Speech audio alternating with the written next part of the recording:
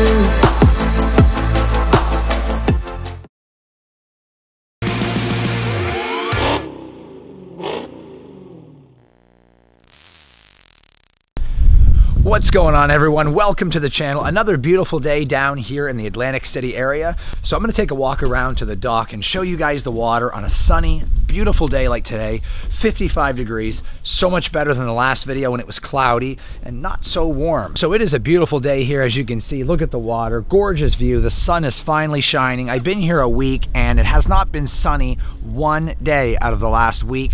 So, I finally can enjoy this with the sun. Look at the water. Such a beautiful and relaxing sight. But today I'm going to be headed to New York City to the New York Auto Show and I'm also putting on my summer tires. Finally, the 315s are going back on. I'm taking the crappy Pirellis off the car and I can finally get some traction in the Hellcat because let's face it, 800 horsepower and 275s don't match. So as you can see, it's a beautiful day and such a nice area. I just need a boat to put on that slip so I can go trolling through the river here and I think that would make for a really nice video. Absolutely amazing view. Now, as you can see, the Hellcat is spotless since I washed it yesterday. However, the hood has a little bit of white streaks on it from the soap. I do have to use VLR or vinyl treatment to clean it and moisturize it as it does dry out and soap tends to leave residue. But as you can see, it looks so much better than it did before I cleaned it. It was so dirty and you can see right now it's spotless. It's that time, guys. You know you like it. It is time for a cold start, and then I'm off to put the summer tires on and to go to the New York Auto Show. Thank you.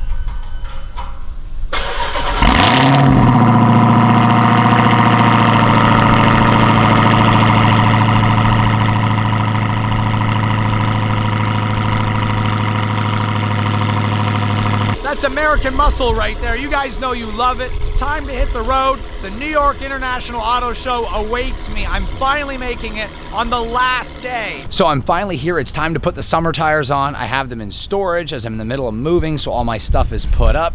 But now it's time to get the stupid Pirellis off and put on the Continental summer tires. One last look at the 275s.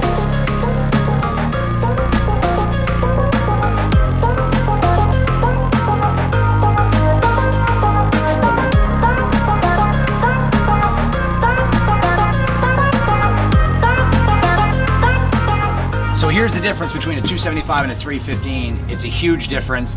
Better tires and much more contact patch on the ground. 275s are not enough for a Hellcat. These are the tires I recommend for everybody who's running Scat Packs or Hellcats. 315 Continental Extreme Contact Sports on a 10 and a half inch wheel or 11. That's what I recommend. 275 is not enough.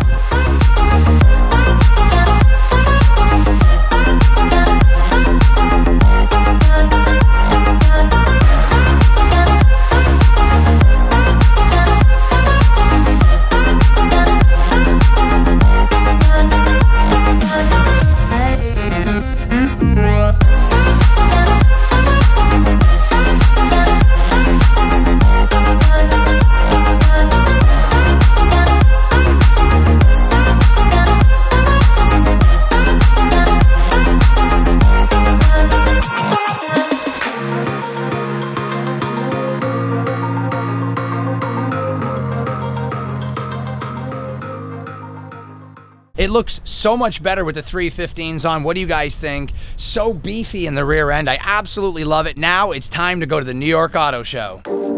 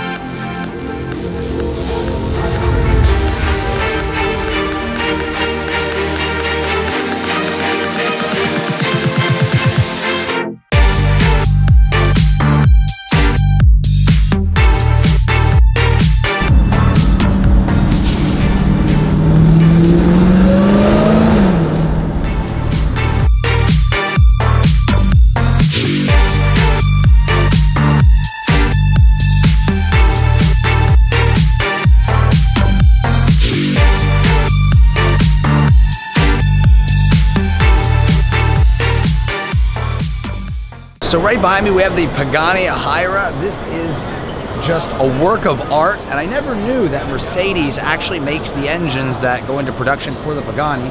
This thing will do 217 miles an hour and has 750 horsepower. This is insane. And the thing is, it only weighs 2,600 pounds. So if you figure 2,600 pounds is about a thousand pounds lighter than the Corvette C7, which only has 650 horsepower. So just imagine, it's kind of in the ballpark of a ZR1 or the new ZR1, except this is a lot better of a machine. This is engineered perfection. It's Pagani. I didn't even know Pagani was still making cars as he was getting out of the game a while ago, at least so I thought. Let's get an up close look at the Pagani. Look at the carbon fiber all over the car. There's carbon fiber everywhere from the splitters, the canards, the side skirts, the mirrors, the spoiler. The entire roof is carbon fiber. It's absolutely mind blowing uh, the craftsmanship that Pagani has put into this car right here.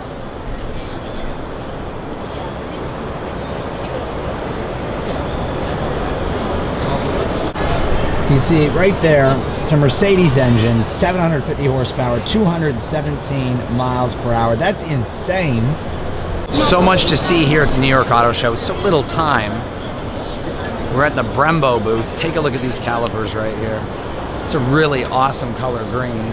These are the Brembos right here for the Trackhawk and Jeep SRTs, except the SRTs have the red Brembos and the yellow comes on the Trackhawk. But this is the Brembo six piston caliper. Now when it's off the vehicle, it looks totally different than when it's on the car. You can see they're massive.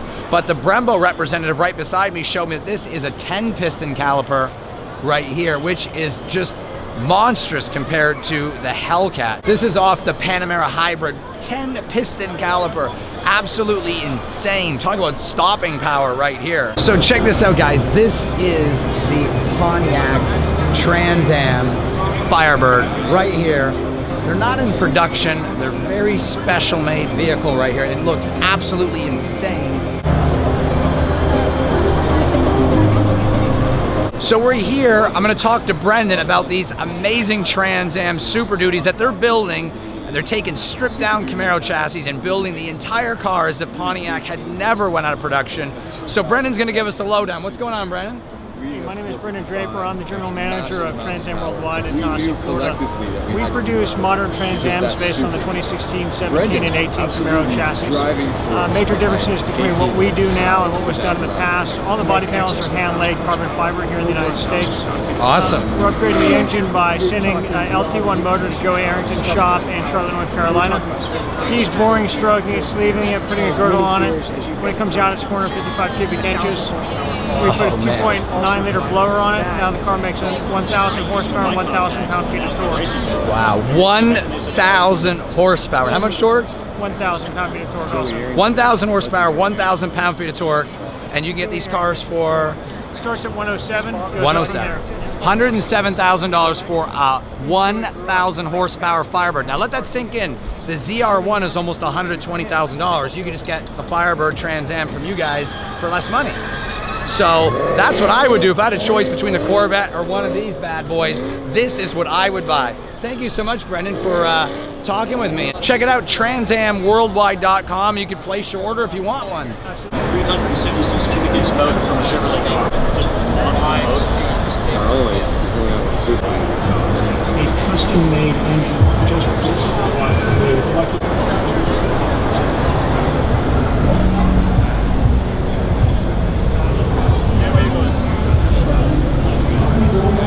I'm going to give you guys a little history lesson on the Ford GT. Back in the 60s, there was a very famous racer named Dan Gurney who was going to race, and Ferrari was going to work on supercars with Ford. However, at the last minute, Ferrari ditched the contract. So, what did Ford do? They engineered the Ford GT to win the 24 Hours of Le Mans to beat Ferrari at their own game and came in first, second, and third place. Now, for the 50th anniversary in 2015, what did they do? They released the Ford GT yet again, winning 24 Hour Le Mans, beating Ferrari, Mercedes, Porsche, Lamborghini, and as well as Pagani and every other car manufacturer you can think of. Two times in less than a century, Ford have won 24 Hour Le Mans, beating Ferrari at their own game twice. And if you guys didn't know that, they did have a contract with Ford in the 60s and they disintegrated that contract last minute on Ford. But Dan Gurney drove the Ford GT to beat Ferrari and won all first three places at 24 Hours of Le Mans. So this right here is paying respects to the original Ford GT and it's better in every way. So let's take a walk around.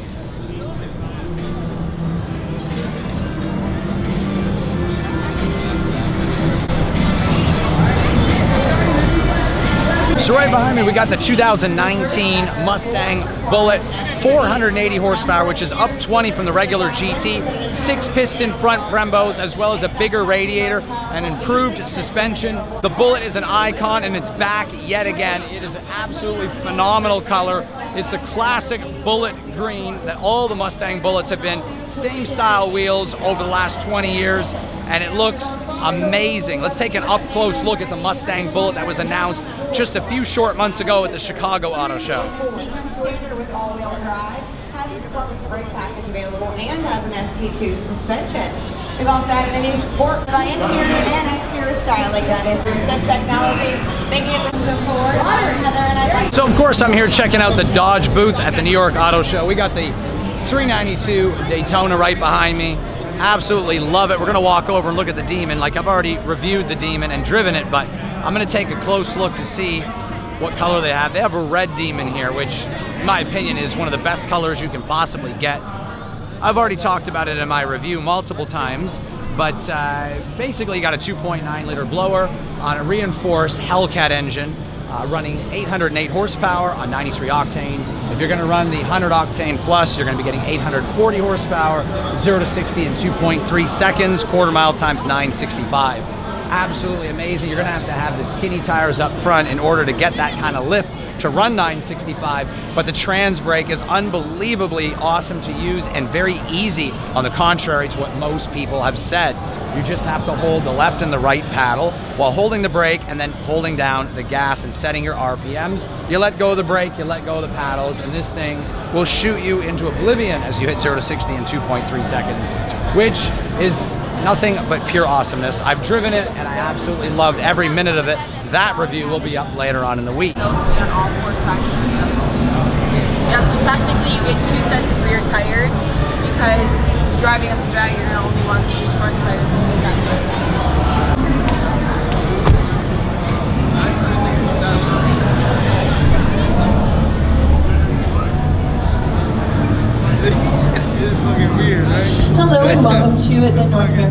International Auto Show in New York. This is the 2018 Dodge Demon. So back in 2014, we introduced the Hellcat as our fastest production vehicle Dodge ever produced with a 774 seconds and topping speeds of over 200 miles per hour. We're not only dominating the streets, but also the road courses. Right behind me is the Durango SRT Mopar Edition, which has blacked out SRT badging, just like I have in my Durango, as well as the hood being painted black and Mopar badging. It even has Mopar stitching in the seat. This Durango SRT is pretty damn rad, if you ask me. speakers and the 18 speaker hard current radio system. To you can see some differences in the engine versus the Hellcat, of course, that massive But the one you really want to hear about is under the hood, and that is our LT5 engine. Now this is a 6.2 liter pushrod V8. It has a 2.65 liter four-lobe Eaton supercharger on it. It comes out to 755 horsepower and 715 pound-feet of torque. And again, it's not a terribly heavy car. It is the loudest Corvette we've ever built, so we also built in a stealth mode on it because your neighbors may want you to have that. So I'm here with Clayton of Kia, and we're going to talk about the brand new Stinger, which, in my opinion, is competing with BMW, Mercedes, Yeah, and absolutely. Lexus, and Infiniti. Yeah, absolutely. So we're super excited about it. It's obviously Kia's first ever sports car. This right here has uh, two different engine options. The larger one being a 3.3 liter engine, twin turbo V6 with 365 horsepower. You have a 0 60 time of 4.7 seconds, which is faster than a Porsche Panamera. Uh, it comes standard Awesome. in rear wheel drive with an all wheel drive option as well. Oh, The price awesome. point you're looking at 32 fully loaded all the way up to about 52,000. Now with this one right here we have a sports package on it with a Borla exhaust, uh, winglets, um, cold intake system, carbon fiber, and you can actually get this kit as is at a dealer.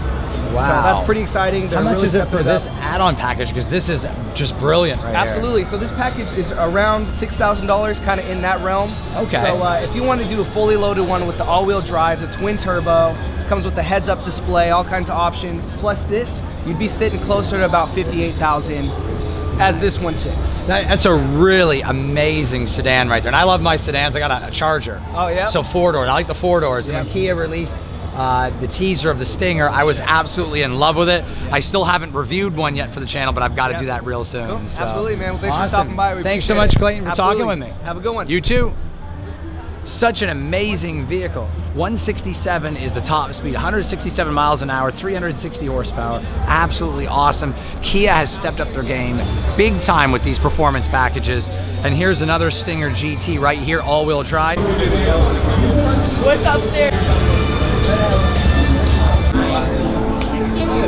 Right behind me is the new Bugatti Chiron, which has a 16-cylinder engine, and that's right, quad turbos. That's insane, producing 1,400 horsepower, 0 to 60 in 2.3 seconds. Now, to put that into perspective, though, the Dodge Demon will do 2.3 0 to 60 for about a fifth of the price. Not taking anything away from Bugatti, but when you think about dollars and cents and speed, that gives you just a little bit of insight. Now, the top speed on the Bugatti is over 400 kilometers an hour, which is a far cry from the 300 kilometers an hour that the Demon will do roughly. It's like 168 miles per hour. Also, one thing to mention, the Bugatti Chiron weighs 4,300 plus pounds, produces 1,479 horsepower. Now, to think about that, the Dodge Demon weighs 100 pounds less. So that just give you guys a comparison of how heavy the Chiron really is. Right behind me is the Range Rover Sport SVR, which has the 575 horsepower supercharged V8 co-engineered with Ford, as Ford owned Range Rover and Jaguar and Mercedes in the 90s. They co-designed this engine. The Range Rover Sport in this color is absolutely gorgeous. So many cars to look at, not enough time. The minutes are counting down. I believe I've got maybe 10 more minutes before they start wrapping up at the auto show. I wish I had more time here, I really do. It's fantastic, but I couldn't make it until late in the week.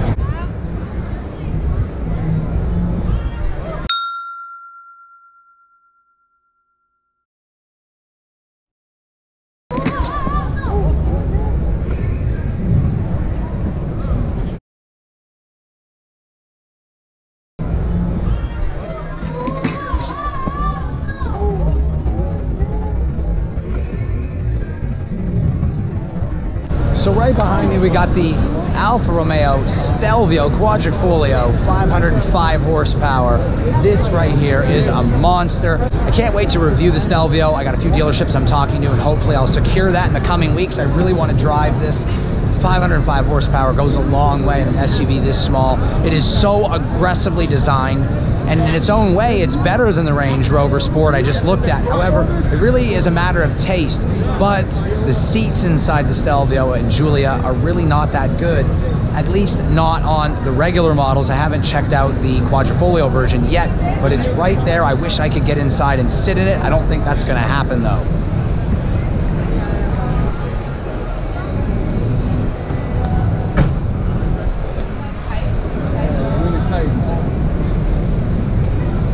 So at first glance, the interior is definitely better than the base model that I saw before. And you can tell by looking right here in the seats, it's a suede, but it's still a little bit firm.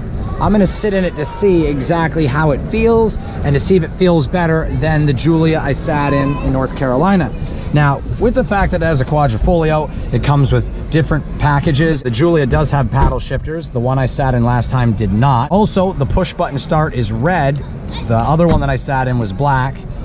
So it's got more of a racing feel. The seats right now are definitely more comfortable than the base model Giulia seats that I sat in last time.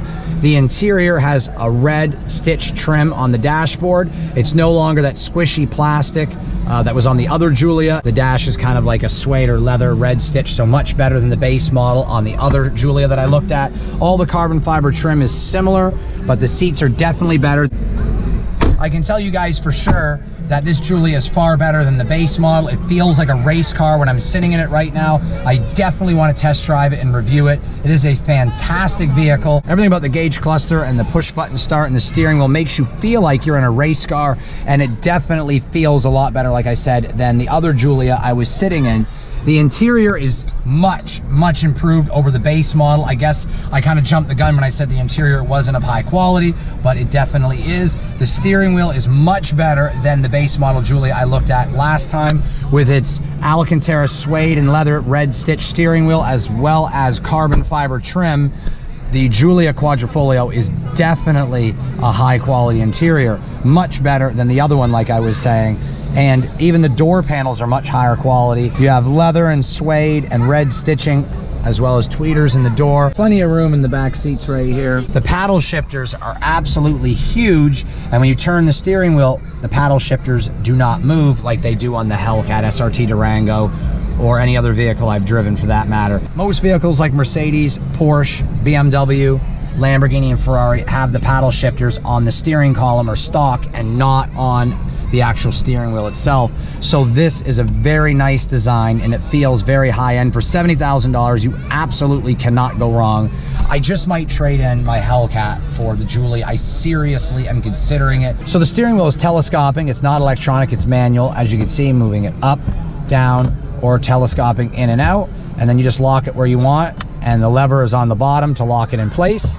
But for the first time ever, let's go ahead and take a look at the engine, the Quadrifoglio engine. I haven't looked at it yet. To be doing a review on it soon. So here you have it. 505 horsepower twin turbo V6.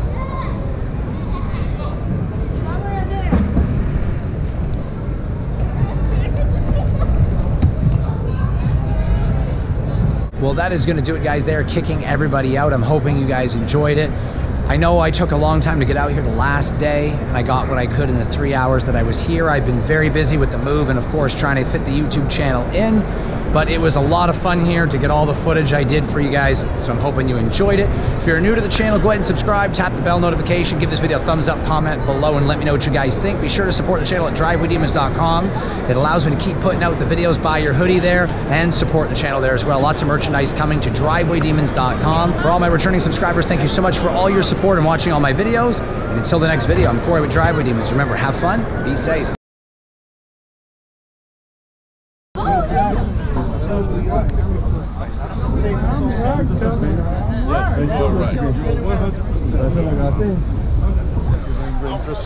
walking the streets of New York, going back to pick up my car.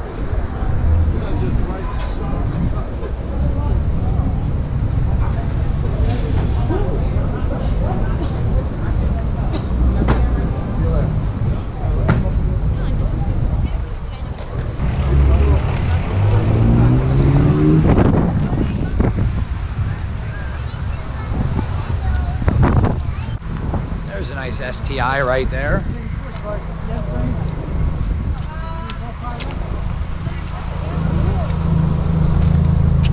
Now, I know a lot of people are probably going to be shocked when I say this, but I think that the Stelvio Quadrifoglio looks just as good, if not better than the Durango SRT in a lot of ways. And I think the Giulia Quadrifoglio looks as good as my Hellcat, if not better in many ways as well. Alfa Romeo have done a fantastic job on the design of the cars. So I'm here to pick up my car at the valet. It is time to get out of here. There it is right there, sitting pretty. My Hellcat sitting there in the valet. It's time to go home.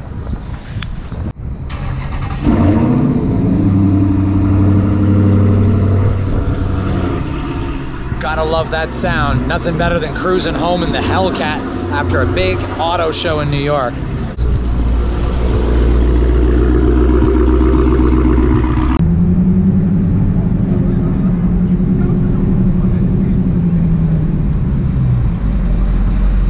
So I'm stopping at my favorite deli, Roosevelt's Deli, to get some cannoli. Right here at Roosevelt's Deli, the best cannoli if you ask me. That's where I'm gonna stop, pick some up, and then I'm gonna go get some pizza, of course.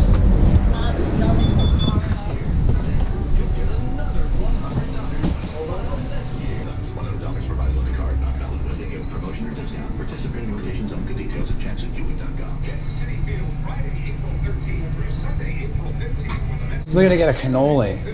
One regular, one chocolate. Yeah, I don't like the ones. Oh, just the chocolate ones? I'll get the two chocolate ones. Those are the last ones, right? Best cannoli ever. See, right there. Oh, Look at that. small camera, but we, you're doing big things. Oh yeah, yeah, definitely. I love Roosevelt's Deli because you get fruit, sandwiches, muffins, all kinds of stuff. It's my favorite place to stop. I'll actually get two of those. I'll get your last two. yeah. Oh, look at that cake. I bet you I'm making all you guys hungry watching this. Black and white cookie, very famous in New Jersey. If you've never been to New Jersey or New York, black and white cookie is very famous. All right, I'm buying their last two cannolis. That's how good they are. Gonna give one to the wife. Now it's time to stop by Nanoosh, which is an Israeli restaurant, Mediterranean food. I love it. I'm gonna grab that and some pizza at La Traviata, which is my favorite pizza in all of Manhattan. There's also a spot over in Brooklyn you guys can check out called Roberta's Pizza. Very thin and very spicy, and it's great, absolutely great pizza. Gotta park the Hellcat on the side of the street and walk to restaurants as there's fire hydrants there you can't park you get a ticket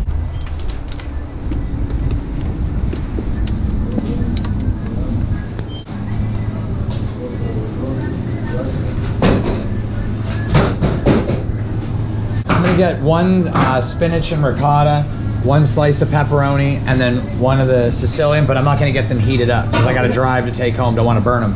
I'll have to reheat them anyway. So I got a Sicilian slice right there, ricotta and spinach pepperoni. Gonna reheat it at the house. This way we don't burn it, reheat it twice. Amazing pizza. So let's say what's up to Traviata Pizza right here in New York. So if you guys want to check out great pizza, La Traviata Pizza between Columbus and Broadway on 68th. Best pizza in all of Manhattan. I've lived here for like six years and it's the best. Thank you. You're very welcome, guys. Take care. Thanks so much.